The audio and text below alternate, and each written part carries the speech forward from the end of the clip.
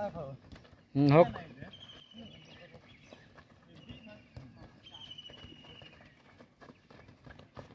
হ্যাঁ good look up look up আবার আবার রিপিট করো স্কিলটা এখানে বেরিয়ে গেল কন্ট্রোলে রাখতে হবে